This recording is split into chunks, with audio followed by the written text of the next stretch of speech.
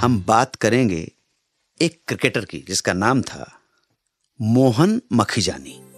ये cricketer cricket छोड़कर बन गए एक्टर और यही मोहन मखीजानी मशहूर हुए अभिनेता मैकमोहन के नाम से। मैकमोहन के पिताजी ब्रिटिश आर्मी में कर्नल थे। 1940 के आसपास लखनऊ आकर बस गए थे। मैकमोहन साहब की स्कूली पढ़ाई मसूरी और लखनऊ में हुई। अच्छा क्रिकेट खेलते थे। बहुत जल्दी उन्हें उत्तर प्रदेश की टीम में शामिल कर लिया गया।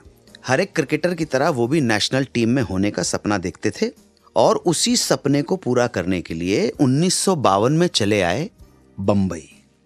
बंबई में मैकमोहन साहब क्रिकेट की प्रैक्टिस करते रहे। एक कॉलेज में एडमिशन ले लिया फर्दर स्टडीज़ के लिए।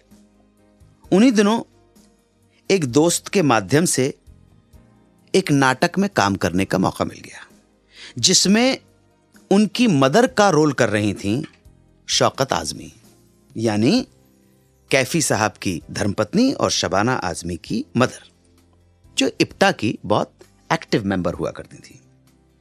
उनके कहने पर मैकमोहन को ना चाहते हुए भी इप्टा के एक नाटक में पार्ट लेना पड़ा।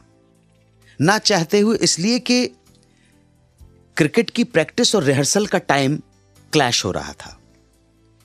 उधर नाटक में उन्हें देखकर फिल्मालय एक्टिंग स्कूल के कोच पीडी शनॉय ने उनके सामने अपने स्कूल में एडमिशन लेने का ऑफ़र रखा और इस तरह क्रिकेटर बनते बनते मैकमोहन बन गए एक्टर।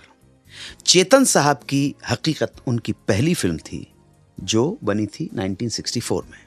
फ़िल्म के क्रेडिट्स में तो मोहन मखीजानी की जगह गलती से नाम लिख दिया गया था ब्रजमोहन, लेकिन फ़िल्म फेयर के उस वक्त के एडिटर एल पी राव ने रिव्यू में उन्हें फिल्मी नाम दिया, मैकमोहन, और इसी नाम से वो मशहूर हुए। कौन था वो गीतकार जिसे अपने पहले ही गीत के ज़बरदस्त हिट होने के बावजूद 18 सालों तक गुमनामी में रहना पड़ा?